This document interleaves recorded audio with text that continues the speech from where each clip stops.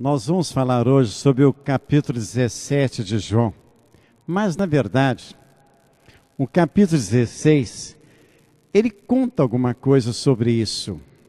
Nós já passamos né, o capítulo 16, vamos entrar no capítulo 17 de João, no versículo 1 a 11. Jesus fala sobre a divindade dele. Jesus abre o coração dele para aquelas pessoas.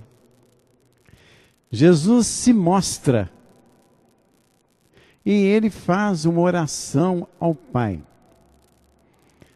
Vem logo aquela pergunta, mas se Jesus é Deus, por que, que ele está orando ao Pai?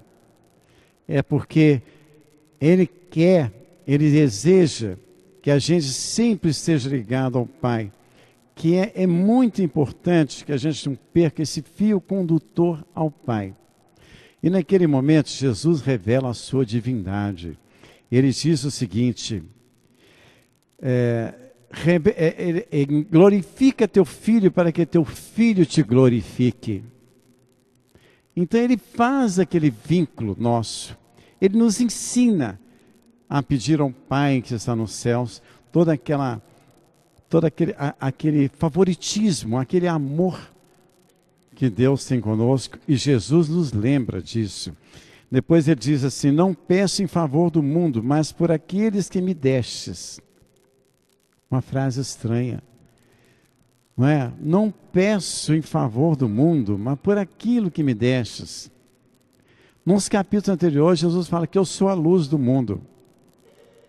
Aqui ele fala: Não peço para o mundo, existe uma distinção muito grande: ser a luz do mundo e pedir e nos ensinar a pedir pelo mundo. Porque eles falam que nós não somos do mundo. Nós somos criados para o paraíso. Então nós temos que pedir a Deus compaixão por esse mundo. Que Ele nos ensine a viver este mundo. Na verdade, o que Jesus quis dizer é isso: ensina esse povo, medita com esse povo a viver esse cotidiano da vida, a esses nossos percalços da vida, nos ensina a passar sobre isso. Na verdade, o que Jesus quis dizer é isso. A minha natureza divina se revela por meio daqueles que me deixas. É uma frase ligada à outra. Nós temos uma necessidade muito grande de falar de Deus.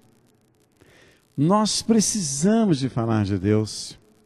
Porque todo aquele, todo o centro de nossa vinda, de nossa consciência, todo o centro de nossa origem, ela está ligada àquela revelação do Pai que nos criou.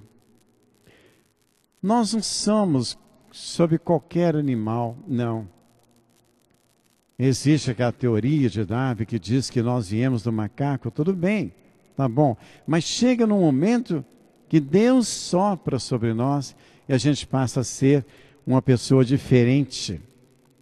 A gente passa a pensar, passa a raciocinar, passa a conhecer Deus. É todo aquele programa para que Jesus volte, para que Deus se mostre entre nós. Então, esse versículo, esse capítulo 16 e 17 de João, ele versa sobre isso. Ele, Jesus se mostra como Deus, Jesus se mostra a, como divino. Jesus nos ensina que nós não estamos sozinhos. Ele pede ao Pai. Eu peço por aqueles que me destes, eu não peço por este mundo. Lógico. Será que Jesus vai fazer uma oração por um animal, por um. Não. Jesus não está preocupado com aquilo. Jesus está preocupado com o ser humano que tem alma e espírito.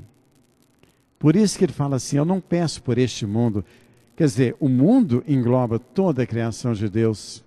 Não, aquilo ali já está inerente a toda aquela sabedoria de Deus. Mas eu peço por aqueles que me destes. Nós somos de Deus independente de credo, cultura, nós temos essa, essa chama de Deus conosco. Então, naquele momento, Jesus nos ensina de que Deus é esse caminho e que nós temos que diferenciar, nós temos que pedir. Deus, naquele momento que nós estamos pedindo as coisas, Ele olha para nós. Ele acerta os ponteiros conosco. E Jesus quis nos ensinar isso. Ele quis, antes de morrer, deixar esse discurso maravilhoso que, que engloba o capítulo 16 e 17 de João. Por quê? Simplesmente, vocês são de Deus, vocês são criaturas escolhidas de Deus. Deus deu a vocês o poder do pensamento. Deus, Deus deu a vocês o poder da ação. Então vocês têm que glorificar a Deus por isso. Seja com, re, com raça, cultura. Eu muitas vezes eu chego lá na minha capela, oh meu Deus, graças a Deus que eu estou aqui, graças a Deus por mais um dia, graças a Deus que eu estou enxergando as coisas, graças a Deus que eu posso andar.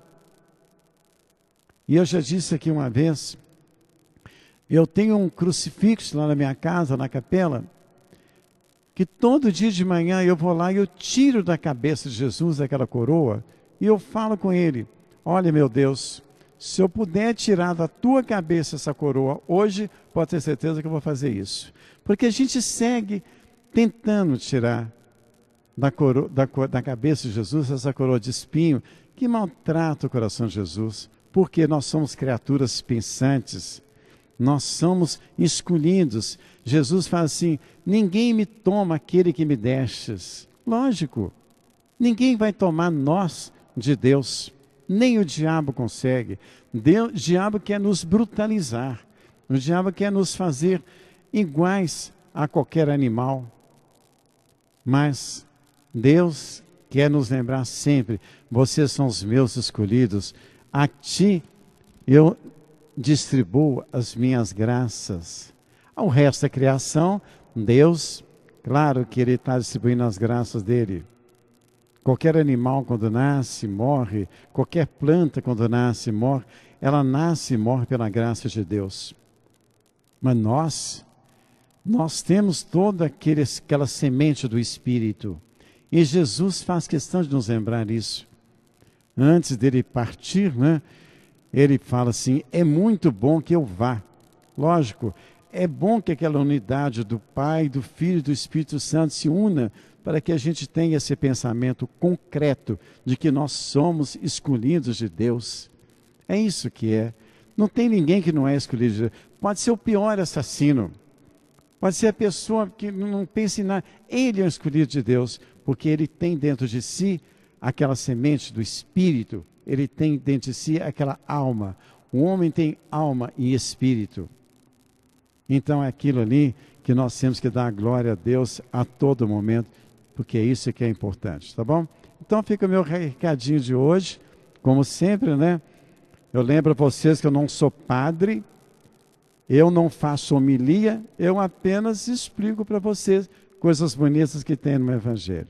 E Nossa Senhora, eu tenho certeza que ela fica muito agradecida com isso. Muito obrigado mais essa vez. E se Deus quiser, nós vamos se encontrar em muitas outras, porque nós somos escolhidos de Deus, tá bom?